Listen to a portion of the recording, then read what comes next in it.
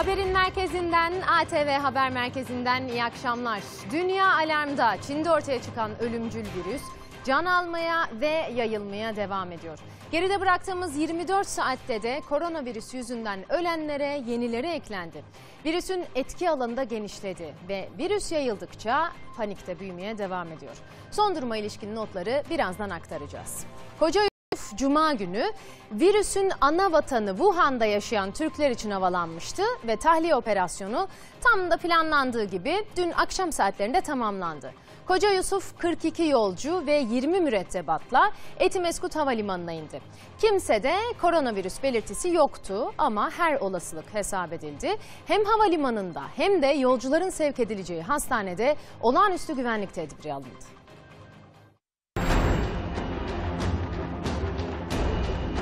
Türkiye Cumhuriyeti'ne çok minnettarım. Bizi burada e, yalnız bırakmadılar. vatandaşlarımızın talepleri doğrultusunda salimen getirmenin mutluluğunu yaşıyoruz.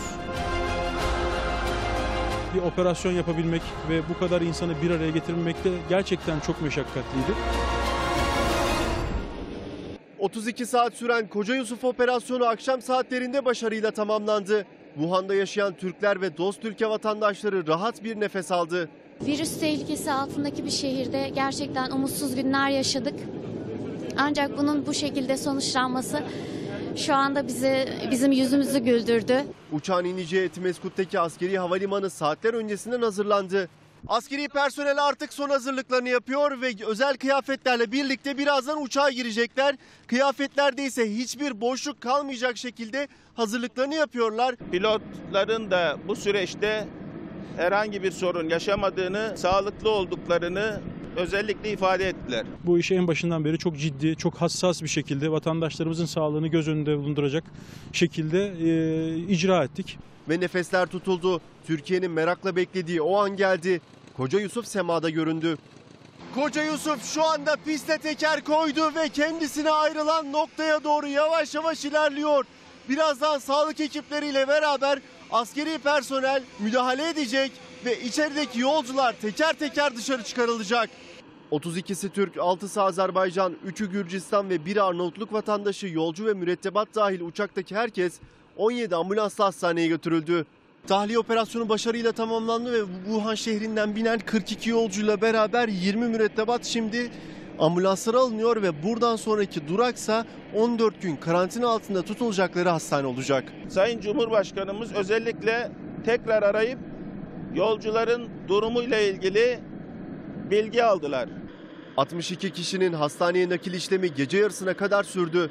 5. ambulans da şu anda hastaneye getirildi ve bu araçla birlikte geriye 12 araç kaldı. Şu anda saatler 10.30'u gösteriyor ve bu ambulanslarda yolcuları bıraktıktan sonra dezenfekte edilecek. Operasyonda tüm detaylar titizlikle düşünüldü. Gelenlere 14 gün boyunca tek kullanımlık malzemeler verilecek. Tüm atıklar tıbbi atık olarak değerlendirilecek ve imha edilecek. 3 günde bir tetkikler yapılacak. Şüpheli durumlara anında müdahale edilecek. Dünyadaki panikse her geçen dakika daha da büyüyor. Çünkü virüs hızla yayılmaya ve can almaya devam ediyor. Virüs 27 ülkeye yayılmış durumda ve dünden bu yana 49 kişi daha koronavirüs yüzünden hayatını kaybetti. Ölenlerin sayısı 305'e yükselmiş oldu. Virüs taşıyan kişi sayısı ise 15 bin. Rakam çok ürkütücü. Her ülke kendince önlem almaya çalışıyor. Dünyanın en kalabalık ülkesi olma ünvanına sahip olan Çin ise artık bir hayalet ülkeden farksız. Çünkü kimse gerekmedikçe sokağa çıkmıyor. Çıkanlarsa çok ilginç bir yöntemle uyarılıyor.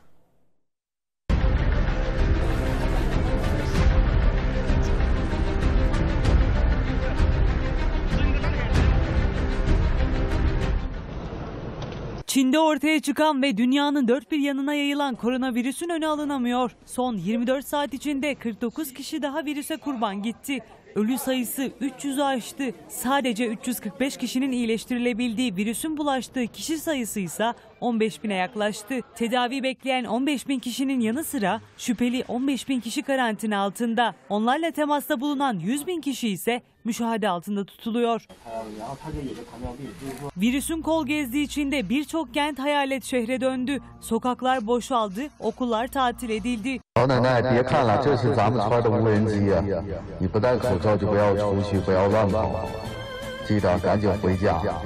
老奶奶，别看了，这是咱们村的无人机啊！你不戴口罩就不要出去，不要乱跑，记得赶紧回家，回家洗洗手，对吧？注意一下卫生，对吧？咱们。 Sokakta maskesiz gezenlere karşıysa bilim kurgu filmlerini aratmayan önlemler devreye sokuldu. İnsansız hava araçlarının sokakta gezen insanları tek tek uyardı ve korkuttuğu görüntüler ortaya çıktı.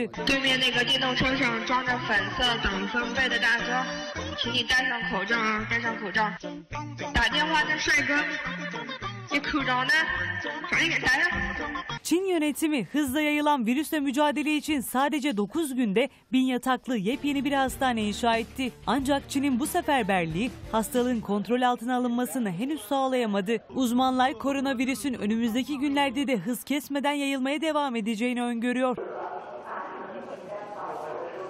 Virüs Çin dışında ilk kez bir ölüme neden oldu. Filipinler'de yaşamını yitiren bir kişi koronavirüs nedeniyle Çin dışında ölen ilk kişi oldu.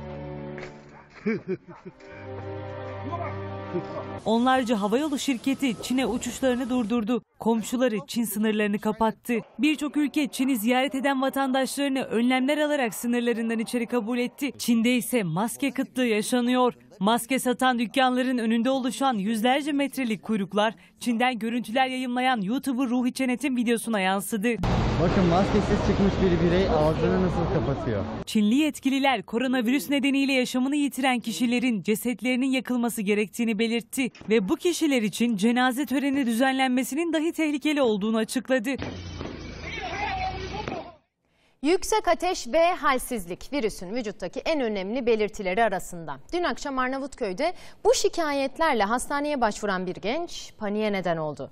Aslında ortada bir koronavirüs teşhisi yoktu ama gencin Rusya'da Çin ürünlerinin satıldığı bir pazarda çalıştığı bilgisi ortaya çıkınca hastane personeli alarma geçti.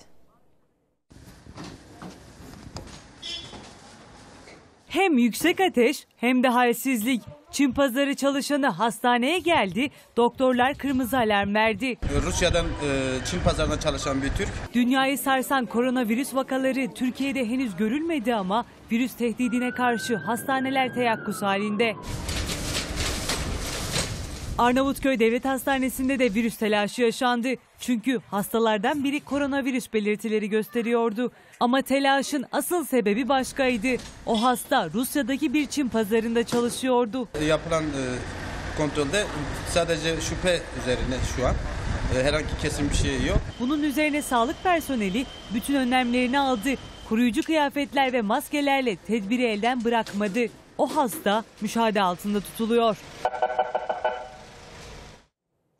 Tüm dünyada hızla yayılan o ölümcül virüs yüzünden herkes tedirgin. Tedirginliği artıran en önemli etkense içinde bulunduğumuz mevsim. Malum grip daha çok kış aylarında görülüyor ve bu olağan bir durum aslında.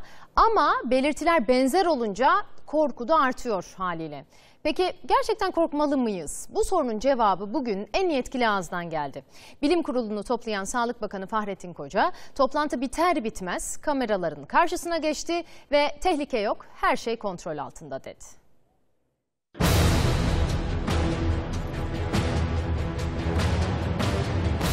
Uçaktaki herkes hastanemizde takip edilmektedir. Şu ana kadar hepsinin sağlık durumları iyidir ve herhangi bir hastalık bulgusu da yoktur. Sağlık Bakanı bu sözlerle aktardı tahliye edilen kişilerin son durumunu. Tehlike yok, her şey kontrol altında mesajını verdi. Tahliye ettiğimiz vatandaşlarımızın hiçbirinde hastalık belirtisi söz konusu değildir. Aslında tahliye edilen kişiler uzun süredir Çin'de olup izole durumdaydılar. Fahrettin Koca bilim kuruluyla yaptığı toplantı sonrası kameralar karşısına geçti. Gündem koronavirüsü, anlattıkları ise ülkemiz adına rahatlatıcıydı. Ulusal Viroloji Laboratuvarımızda çalışılan 18 numune olmuştur. Bunların sonucu da negatif çıkmıştır. Özellikle virüsün ülkemize girişini engellemek için büyük gayret gösteriyoruz. Çin'den tahliye edilen kişilerden de riski sıfıra indirmek için numuneler alındı.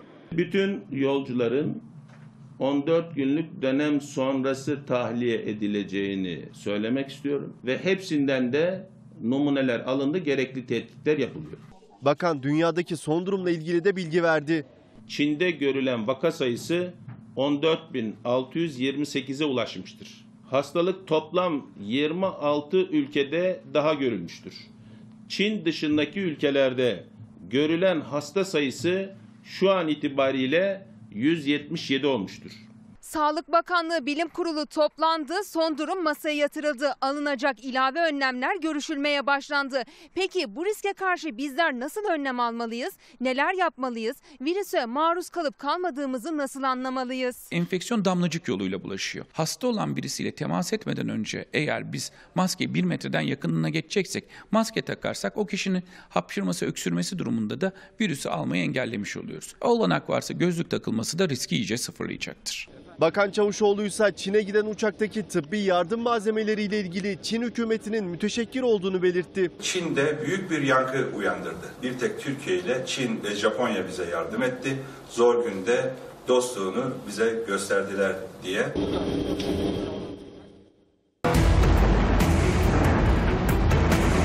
عيان صابر عن القيادة العامة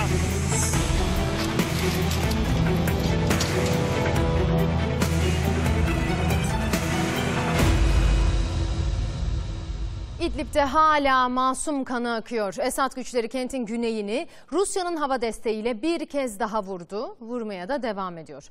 Başkan Erdoğan saldırıların devam etmesi halinde gerekenin yapılacağını çok açık ve net bir dille söylemişti zaten. Hazırlıklar da tamamlanmak üzere. Bölgeye yapılan askeri sevkiyat dün gece boyunca da devam etti. M5 karayolu üzerinde hakim bölgelere çok sayıda zırhlı araç ve personel takviyesi yapıldı.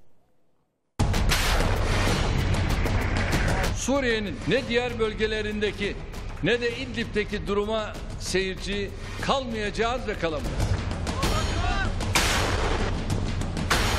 Ya Rab sedded ya Rab. Allahu Ekber. Başkan Erdoğan'ın bu sözlerinden sonra Esad rejiminin zulmüne karşı Suriye Milli Ordusu harekete geçti. Halep'e yapılan saldırılar sonrası hem rejim güçlerine hem de terör örgütü YPG'ye yönelik askeri harekat başlatıldı. Hedef günlerdir, haftalardır hatta aylardır insanlığın yok sayıldığı İdlib. Rejim saldırıları bir yandan, Aslana ve Soçu mutabakatına rağmen Rus savaş uçakları diğer yandan kent bombalanıyor. Siviller katlediliyor İdlib'de. Yaşanan hareketlilik bölgeyi iyiden iyi ısıttı. Suriye Milli Ordusu güçleri Elbap kırsalında rejim güçleriyle çatıştı. Rusya ve Esad kontrolündeki Tadif beldesine girdiler. Onlarca rejim milisini etkisiz hale getirdiler. Bölgedeki Tel Rahal, Karabişe başta olmak üzere bazı köyleri rejim güçlerinden alarak Tel Rifat yönüne doğru ilerlemeye başladı Suriye Milli Ordusu. Rus savaş uçakları ve helikopterlerinin bulunduğu Kuveyris hava üssü ise füzelerle vuruldu. Allahu Ekber. Marat El Numan ilçesini ele geçiren rejim güçlerinin bu hamlesine ise Türk Silahlı Kuvvetleri anında karşılık verdi. İlçenin güney ve kuzey hattına siperler kazıldı. Halep'ten başlayarak Ürdün'e kadar uzanan M5 karayolu üzerinde hakim bölgelere çok sayıda zırhlı araç ve personel takviyesi yapıldı. Suriye'nin tüm halkıyla birlikte istikrarını ve güvenliğini istiyoruz. Bunun için de askeri güç kullanmak dahil ne gerekiyorsa yapmaktan çekinmeyeceğiz bunu da ifade ediyorum. Suriye sınırındaysa geceyi tank yüklü tır konvoyunun farları aydınlattı. Hatay'ın Reyhanlı ilçesine gece geç saatlerde çok sayıda zırhlı araç ve tank sevkiyatı yapıldı. Suriye sınır hattında askeri hareketlilik yaşanıyor. Şu anda tırlar üzerinde beton bloklar var. Kahraman Mehmetçik işte bunu Suriye'de kullanacak. Günün ağarmasıyla birlikte sınırda hareketlilik daha da arttı. Beton bloklar kazılan siperlere yerleştirilmek üzere Mehmetçiğin olduğu bölgelere gönderildi. Türk Silahlı Kuvvetleri İdlib çevresindeki üst bölgelerinde de hazırlıklarını tamamladı. Amerikan Başkanı Donald Trump ve İsrail Başbakanı Benjamin Netanyahu'nun yüzyılın planı olarak dünyaya duyurdukları sözde barış planı dün Arap Birliği'nden gelen tanımıyoruz açıklamasıyla tamamen çöktü. Filistin o açıklamanın yapıldığı andan bu yana o işgal planını protesto etmek için ayakta. İsrail ise kana doymak bilmiyor. Gazze'ye günlerdir bomba yağıyor. Under this vision, Jerusalem will remain Israel's undivided, very important, undivided capital. Trump ve Netanyahu'nun sözde barış planı Filistin'e istikrar değil, gerginlik getirdi. Filistinliler planı lanetleyen protestolar düzenlerken İsrail uçakları 4 gecedir Gazze'ye hava saldırısı düzenliyor. İsrail üst üste dördüncü gece düzenlediği hava saldırılarında Gazze şeridindeki Hamas noktalarını hedef aldı. Saldırılarda Filistin tarafından ölen ya da yaralanan olmadı. Ancak Batı Şeria'daki barışçıl gösterilere yine İsrail polisinin orantısız müdahalesi vardı. Gösterilerde aralarında gazetecilerin de bulunduğu çok sayıda kişi yaralandı. Arap Birliği Amerika'nın sözde barış planını kınarken Filistin lideri Mahmud Abbas tarihe Kudüs'ü satan kişi olarak geçmeyeceğim diyerek Amerika'nın artık Filistin için dost bir ülke olmadığını, kendisinin de Amerikan Başkanı Trump'la görüşmeyi reddettiğini söyledi. Rusya'da planın Birleşmiş Milletler kararı ile çeliştiğini vurgulayan bir açıklama yayımladı. Tek başımıza da kalsak e, ortak davamız Kudüs'ü savunacağız. Filistinli kardeşlerimizi de hiçbir zaman yalnız bırakmayacağız. Plana karşı en sert duruşsa Türkiye'den gelmeye devam ediyor. Başkan Erdoğan, Filistin lideri Mahmud Abbas ve Hamas siyasi büro şefi İsmail Haniye ile görüşürken Dışişleri Bakanı Çavuşoğlu da Türkiye'nin işin peşini bırakmayacağını söyledi. Bundan sonraki süreçte de bu birliği beraberliği koruyarak bu kabul edilemez e, planı karşı plan, plana karşı durmamız gerekiyor.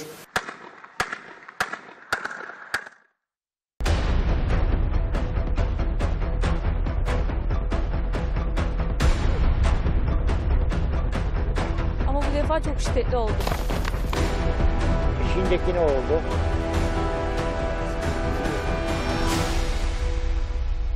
Günlerdir diken üstünde yaşayan Manisa dün gece deprem gerçeğiyle bir kez daha yüzleşmek zorunda kaldı. Kent önce 4,6 ile sallandı. Yataklarından panikle kalkanlar henüz şoku atlatamamıştı ki 4 büyüklüğünde bir sarsıntı daha meydana geldi. Merkez üssü Akisar'dı. Sabaha kadar kimse uyumadı. Gün akşama yaklaşırkense 40 ağaç 4,4 ile sallandı. Yine aynı saatlerde Akdeniz'de de deprem paniği vardı. Sarsıntının büyüklüğü 4,2 idi. Ama Muğla, Marmaris, İzmir ve Bodrum'u ayağa kaldırmaya yetti.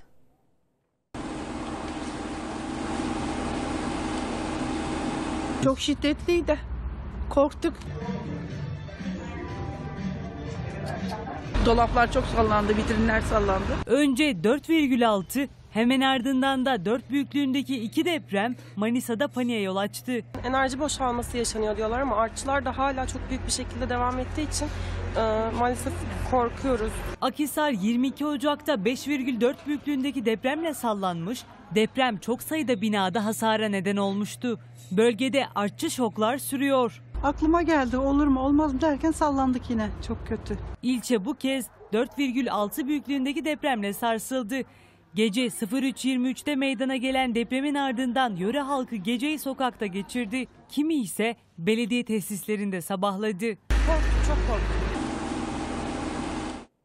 Elazığ'daki deprem faciasında hasar alan 323 bina için yıkım kararı çıkmıştı. O binalardan biri dün gece kendiliğinden çöktü. Mahalleli büyük korku yaşadı.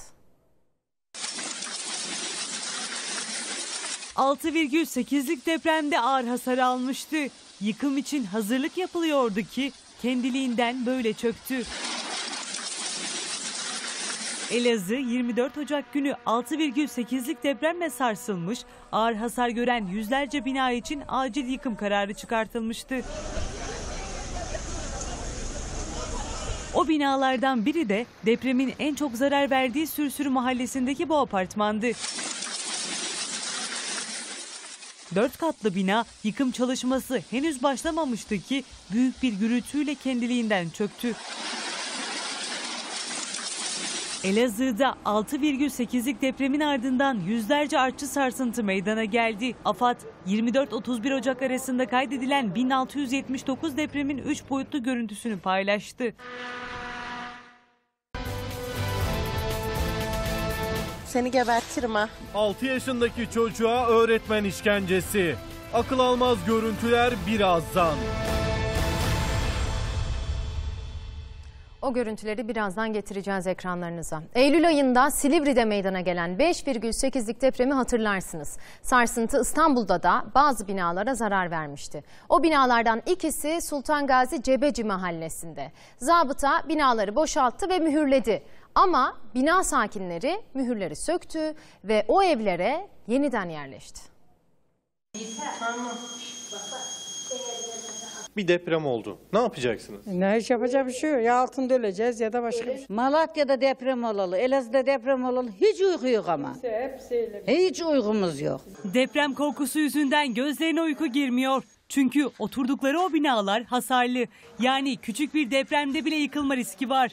Ancak buna rağmen mühürleri söktüler ve içeri girdiler. Bize bir çare ver, düşünsünler, yol göstersinler. Ben de hiç uyku yok. Korkuyorum. Acaba ne olacak? Bir de diyorlar ki sen alt kattasın daha çok kötü olursun. Geçtiğimiz Eylül'de İstanbul 5,8'lik bir depremle sarsılmıştı. O deprem Sultan Gazi Cebeci mahallesindeki Boğaziçi bloklarına zarar verdi. Bazı binaların kolonları çatladı. Belediye ekipleri hasarlı binaları mühürledi. Şu anda Boğaziçi blokları birinci binadayız. 5.8'lik Silivri depremi binada ağır hasar meydana getirdi. Görüyorsunuz binanın bodrum katında taşıyıcı kolonlar hem çatlamış durumda hem de o kolonların içindeki demirler çürümüş vaziyette. Demirleri gördüğünüz gibi elimle koparabiliyorum. Böyle bayağı bile çatırdı oldu. Lambalar sallandı. Bayağı bir şeyler oynadı. Biz o anda çıktık dışarıya. Bina sakinleri bir ay boyunca otelde konakladı. Bu süre içinde bazıları hasarlı binalardan taşındı. Taşınmayanlarsa mühürleri kırıp evlerine girdi. Depremin ardından mühürlenen binalardan biri de işte burası. Bina depremde hasar gördü ve mühürlendi ancak şu anda yine binada oturanlar var. Biz memlekete gideceğiz. Bırakıp eve gideceğiz. Yapacak bir şey yok. Korkuyoruz yani. Para topladık. Riskli çıktı yüzde yüz. Örnek aldırdınız, kontrol ettirdiniz. Tabii tabii hepsini yaptırdık biz. Bina sakinleri şimdilik o evlerden çıkmayı düşünmüyor. Yetkililerden çözüm için destek bekliyorlar. Bize dediler ki neden girdiniz?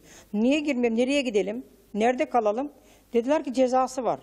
Valla cezası olsa da olmasa da yani girdik biz. Rusya'da yıkımına karar verilen dev bir stadyum bir anda büyük bir gürültüyle çöktü. Ve tam da o anda film sahnelerini aratmayan çok vahim bir tablo çıktı ortaya. Statta yıkım için çalışan bir işçi vardı. Bir anda bastığı yer ayaklarının altından kayıp gitti. İşçi son bir hamleyle hayata tutunmaya çalıştı ama başarılı olamadı. Dünyanın en büyük buz pistini yapacaklardı. Ancak önce Sovyetler döneminden kalma stadyumun yıkılması gerekiyordu. Yıkım süreci fena halde yanlış gitti. Film sahnelerini aratmayan kaza bir işçinin hayatına mal oldu. Görüntüler Rusya'nın St. Petersburg şehrinden. Yıkım çalışmaları devam eden St. Petersburg Stadyumu'nun çatısı üzerinde 4 işçi varken çöktü. İşçilerden biri tüm çabasına rağmen vince tutunamadı ve enkaz altında kalarak yaşamını yitirdi. Diğer 3 işçinin ise enkazdan kurtarıldığı ve tedavi altına alındığı açıklandı.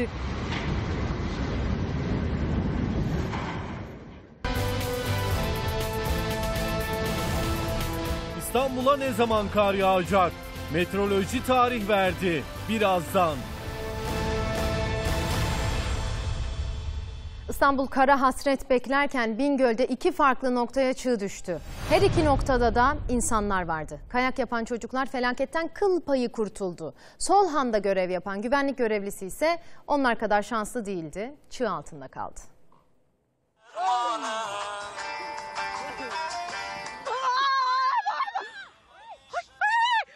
Kayak yapan çocuklar çığ altında kalmaktan şans eseri kurtuldu. Güvenlik korucusu Yüksel Arıl ise o çocuklar kadar şanslı değildi. Arıl aynı bölgede farklı noktaya düşen çığda hayatını kaybetti. Bingöl'ün Genç ilçesinde kayak yapan çocuklar kopan kar kütlesinin küçük olması nedeniyle ölümden döndü. Solhan ilçesinde ise 42 yaşındaki korucu Yüksel Arıl çığa köy trafosunu kontrole gittiği sırada yakalandı. Arıl çığdan kaçamadı. Kar yığınının altında kaldı. Ekipler çığda kaybolan korucuya ulaşabilmek için seferber oldu. 6 saat sonra Aral'ın cansız bedeni bulundu. Çığ düşen bir diğer noktada Tunceli'ydi. Şu çığın gelişine bakın arkadaşlar. Şu anda muzur suyu doldu. Yamaçtan Munzur çayına düşen kar kütlesi büyük korkuya neden oldu. İnanılmaz bir şey. Teller koptu, elektrik telleri koptu evet. Kışın tam ortasındayız ama İstanbul'da bugün bahardan kalma bir hava vardı. Günlerden de pazar olunca çoluk çocuk herkes kendini dışarı attı. Güzel havanın tadını çıkardı. Ama bu bahardan kalan havanın etkisi çok uzun sürmeyecek gibi görünüyor. Çünkü meteoroloji İstanbul için kar uyarısı yaptı. Hatta tarih de verdi. Hadi kaldır. Kaldır şunu yavaş.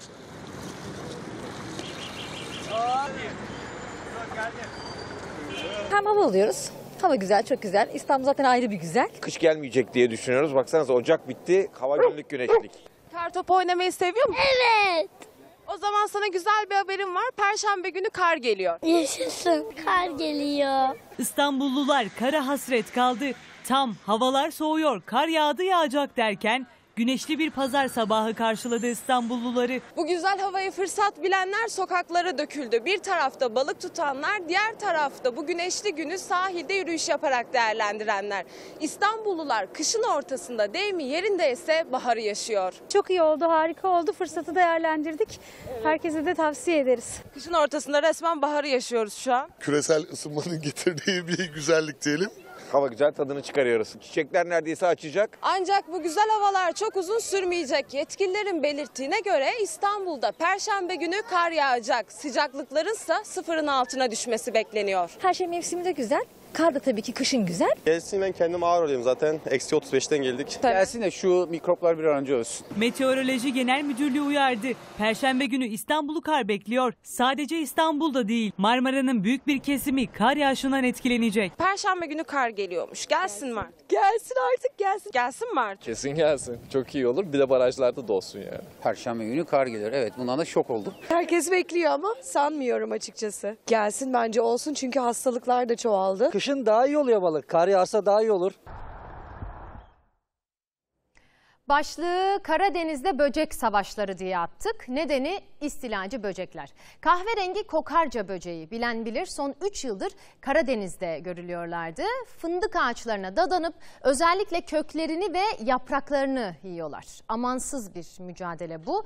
Öyle ki İtalya yenik düştü o böceklerle savaşta. Fındık üretiminde dünya birincisi olan Türkiye'de de durum kritik. Fındıkta verim %20 düştü. İstilacı böceklere karşı çözüm aranıyor.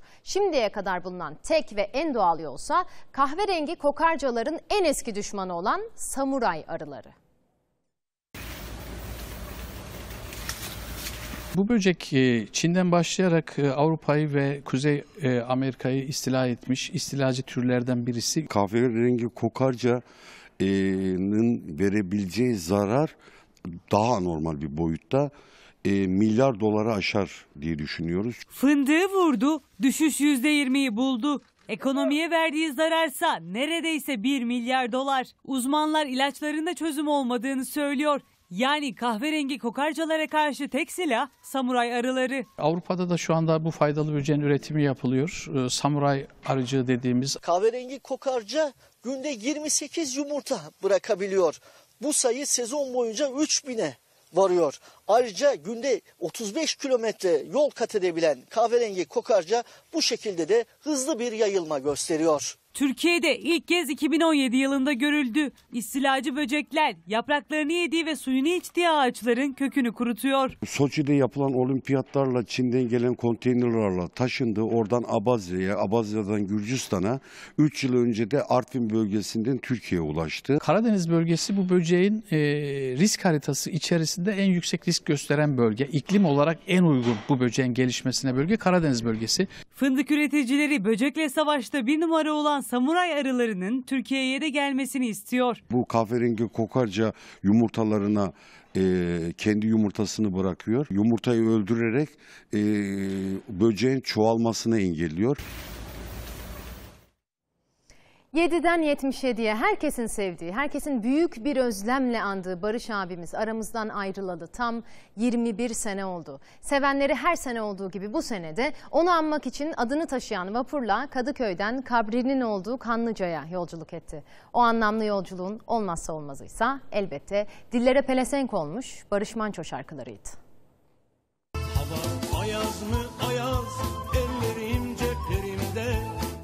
Hem ozan, hem şair, hem de filozoftu.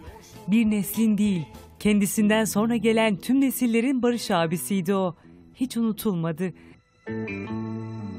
Ölümünün 21. yılında 7'den 77'ye Barış Manço vapurunda toplandı.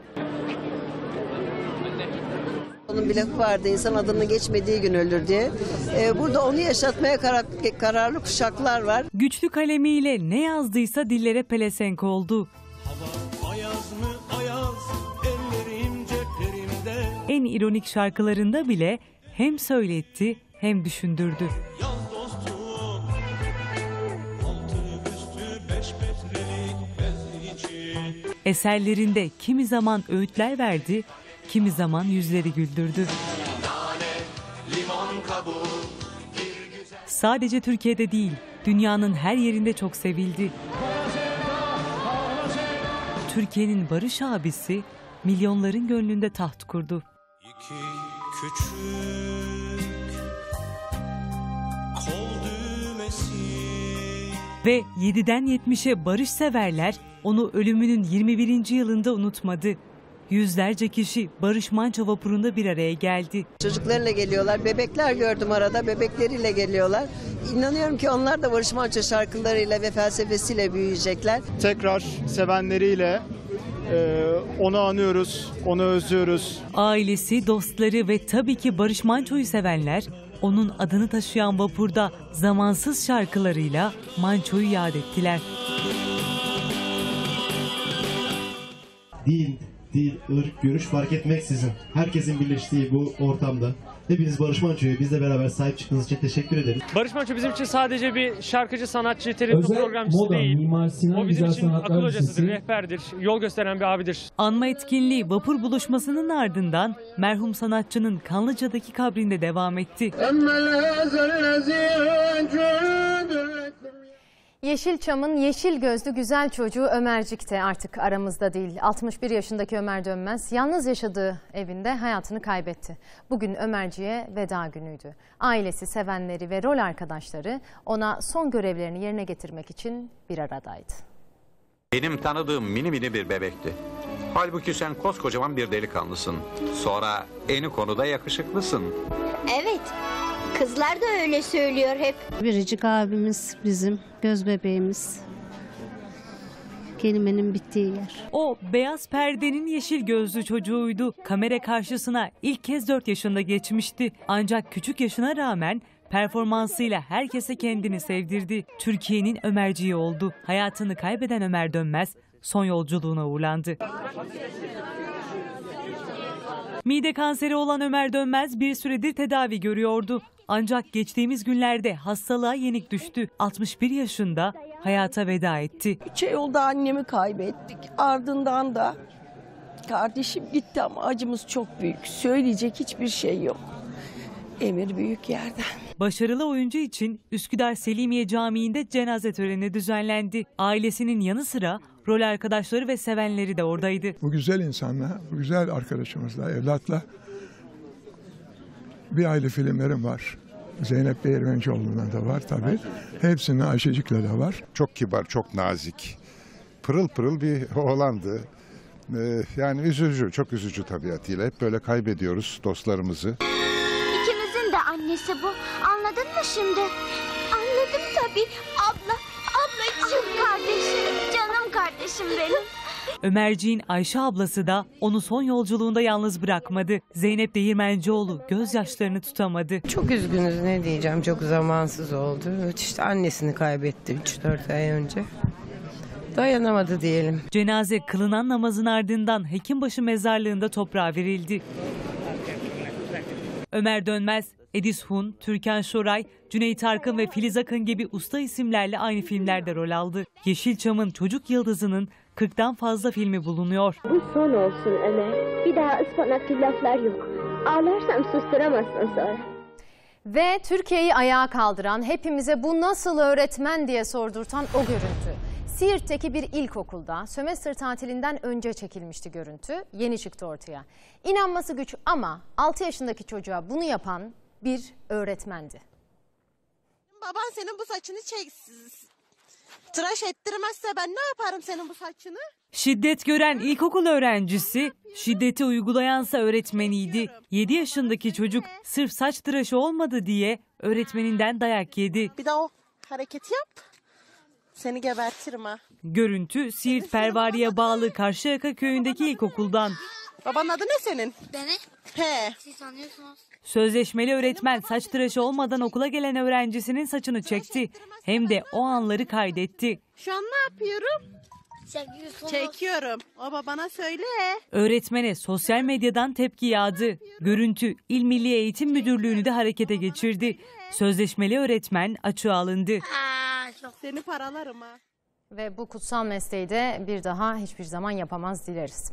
Eli silahlı dört kişi İstanbul'da bir sokak arasında pusuya yattı. Hedefteki otomobil sokağın başında görünür görünmez de aracı kurşun yağmuruna tuttular.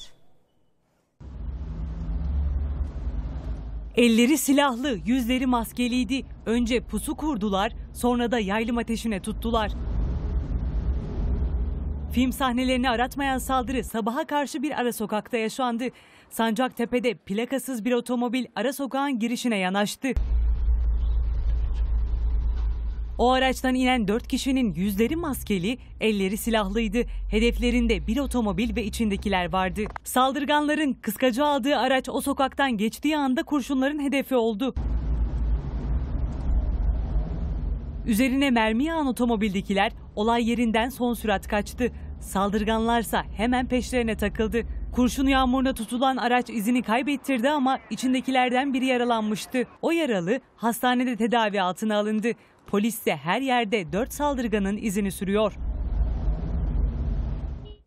Adana'da genç bir kadının cesedi yol ortasında parçalanmış halde bulunmuş, kazaya kurban gittiği söylenmişti. Ona çarpan sürücü ise ortada yoktu. Bugün ortaya öyle bir görüntü çıktı ki kaza ihtimalini adeta rafa kaldırıp cinayet şüphesini güçlendirdi.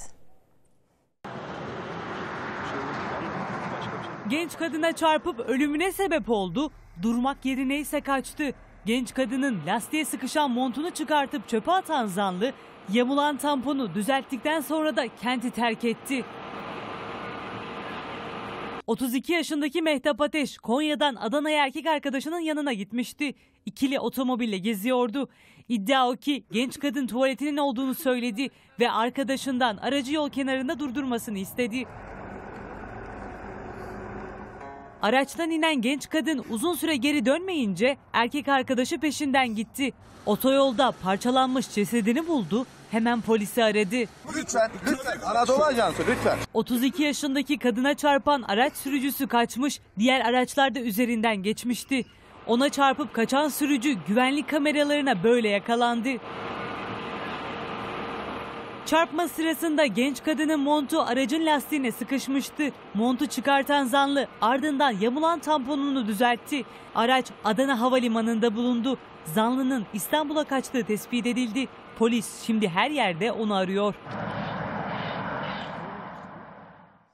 Sakarya'da bir grup gencin asker uğurlama eğlencesi facia ile bitti. Gençler konvoy yapıp kenti dolaşmaya çıkmıştı. Alkollü bir sürücü o konvoydaki araçlardan birine çarptı. 22 yaşındaki İlker Kaçar hayatını kaybetti. Gece birlikte halay çekip eğlendiği arkadaşları sabah tabutunu taşıdı. Asker eğlencesinde arkadaşlarıyla halay çekmişti. Tam bir saat sonra trafik kazasında hayatını kaybetti. Gece birlikte eğlendikleri arkadaşları gündüz tabutuna omuz verdi. Sağlıklı arkadaşlarım hiçbir şey yapamadım. Bir grup genç Sakarya'da askere gidecek arkadaşları için eğlence düzenledi. Gençler daha sonra arkadaşlarını otogara götürmek için konvoy halinde yola çıktı. Facia da o sırada yaşandı. Arkamızdaydı sola geçti sonra 10 saniye sonra arkadan çok sert bir şekilde vurdu. İddiaya göre alkollü sürücü konvoydaki bir otomobili arkadan çarptı. Otomobil çarpmanın şiddetiyle metrelerce savruldu. İçindeki 4 kişi yaralandı. Savrulduk arkadaşlarım hiçbir şey yapamadım. 22 yaşındaki İlker Kaçar'ın durumu ağırdı. Kaldırıldığı hastanede hayatını kaybetti. Kaçar'ın gece birlikte halay çektiği arkadaşları gündüz tabutunu taşıdı. Trafik kazasına kurban giden genç kılınan cenaze namazının ardından gözyaşlarıyla toprağa verildi. Telefon dolandırıcıları o bildik yöntemle bir ailenin daha elinde avucunda neyi var neyi yoksa aldı. Çete o kadar iyi organize olmuştu ki yaşlı çift şüphelenecek vakti bile bulamadı. 35-40 senenin emeği. FETÖ ile mücadele ettiklerini söylediler bana. Allah Allah gözüm kör oldu hiç. Ben bütün gözünü ve sağlığını Telefon dolandırıcıları pes etmiyor. Bu kez hedeflerinde 2,5 kiloluk altınlar vardı. 900 bin var işte. Öteki de 2 mi 2,5 kilo mu işte. Herkesin altını döviziniz, paranız, kasanız bir şeyiniz varsa dedi. e, Bunlar dedi FETÖ'cüler tarafından dedi değiştirilmiş. E, Bankacı, banka memurları dedi şeyle dedi kuyumcularla anlaşmışlar. Birebir aynısını yapıp yerine sahtelerini koymuşlar dedi bana. Ahmet Akın ve eşi onlar telefon dolandırıcıların kurbanlarından sadece birkaçı. Dolandırıcılar son derece organize bir şekilde ilerlediler. Önce Akın ailesini ev telefonundan aradılar ve kendilerini başkomiser olarak tanıttılar. Ardından terörle mücadele ettiklerini söyleyip derhal en yakın emniyete gelmeleri gerektiğini söylediler. Bu kadar olmaz yani bir insan aç gözlüler Allah haram zehir zıkkım olsun. Bana bir yaka numarası verdiler. İsterseniz 155 arayıp sorun dediler. Yalnız telefonu kapatmadan iki tuşuna, tuşuna basmamı, ondan sonra 155 çevirmemi söyleyince ben de dediklerini yaptım. Akın emniyete geleceğini söyleyince dolandırıcılar hain planı devreye soktu. Dedi ki emniyete gelmeye gerek yok. Araba tutmamı parasının kendileri tarafından ödeneceğini söylediler. Ben de devletimize feda olsun dedim. Kendim gittim. Oraya varınca boş bir bankoya oturmamı söylediler. Dediklerini yaptım. Telefonlarının hep açık olmasını istediler. Bir yandan Ahmet Akın'la, diğer yandan eşi Güner Akın'la konuştular. Düzgünce bir şeye koyun. Getirin orada işte asayişten Cengiz alacak sizden dedi. Gittim hiç bu dünyayla ilişiğim yok. Bir yeri görmüyorum. Bir poşete koydum. Koşa koşa götürdüm. Oraya gittim ki adam yürüyerek geldi. Ben dedi asayişten Cengiz dedi. Ee, emanet almaya geldim dedi. Uzattım verdim. Aklını aklımızı kaybetmemizden korkuyorum. Başka bir şeyden değil. Zaten yandık. Bir şeyimiz de kalmadı. Bundan sonra neyimi, neyimiz alacaklar? Akın ailesinin dolandırıldıklarından bugüne kadar gözlerine uyku girmiş durumda değil ve istedikleri tek şey 35-40 yıllık emeklerinin yeniden geri getirilmesi. Dileriz. Çin'e gideceğiz. Çin'den daha doğrusu dünyaya yayılan virüsü yok eden ilaçtan söz edeceğiz. Öyle bir ilaç hali hazırda yok bildiğiniz gibi. Ama olmayan ilacı satanlar var ortalıkta. Onlardan biri başkentte sahneye çıktı ve yaşlı bir adamı tuzağına düşürdü. Bu kapkaççı gündeme göre hareket ediyor. Koronavirüsüne karşı ilaç satıyorum deyip insanları oyaladı. Sonra cüzdanlarını alıp böyle kaçtı. Ankara'da 70 yaşındaki zanlı Çin'den yayılan koronavirüsüne karşı ilaç sattığını iddia etti. Hedefinde kendisi gibi yaşlı insanlar vardı. Üstelik kandırmayı da başardı. Dolandırıldığından haberi olmayan yaşlı adam tam ödemeyi yapıyordu ki olanlar oldu. 70 yaşında olmasına rağmen karşısındaki kişinin parasını ve cüzdanını kapan adam bir maraton koşucusu gibi kaçmaya başladı. O anlar mobese kameralarına yansıdı. Gelen şikayetler sonrası polis hemen harekete geçti. Kamera kayıtları saniye saniye tarandı. Çok geçmeden de korona dolandırıcısı adamın önce eşkali sonra kimliği belirlendi. Düzenlenen operasyonla yakayı ele verdi. Emniyete götürülen şüphelinin sorgusu devam ediyor. Amerikalı çılgın girişimci Elon Musk yine çılgın bir fikirle çıktı dünya kamuoyunun karşısına. Önümüzdeki 30 yıl içinde Mars'a tam 1 milyon insan taşıyacağını iddia etti. Sıra dışı fikirleri ve ufuk açıcı projeleriyle tanınan Amerikalı iş adamı Elon Musk yine dikkatleri üzerine çeken bir açıklamayla gündeme geldi. Musk 2050 yılına kadar 1 milyon insanı Mars'a göndereceğini söyledi. Musk'ın çılgın planına göre Mars'a insan gönderme görevini ise Starship yani yıldız gemisi adı verilen uzay araçları üstlenecek. Musk önümüzdeki yıllar içinde 1000 adet yıldız gemisi üretmeyi amaçlıyor. Her bir yıldız gemisinin 100 kişiyi taşıma kapasitesi olacak. Gökbilimcilerin hesaplarına göre Dünya ve Mars her iki yılda bir birbirlerine yaklaşıyor ve bu yaklaşma süresi ortalama bir ay sürüyor. Uh, Bu sürede yeterli sayıda insan gönderebilmek için Dünya'dan Mars'a her gün 3 sefer yapılacak. Kızıl gezegenle Dünya arasında mekik dokuyacak yıldız gemisinin ilk denemelerinin Mart ayında gerçekleştirilmesi planlandı. Musk'ın 2022'de Ay'a, 2024'te ise Mars'a insan göndermesi bekleniyor. Bir ara verelim ardından veda etmek için tekrar karşınızda olacağız. Günün gelişmelerini anlattık. Haberin merkezinden, ATV Haber Merkezi'nden iyi akşamlar. Hoşçakalın.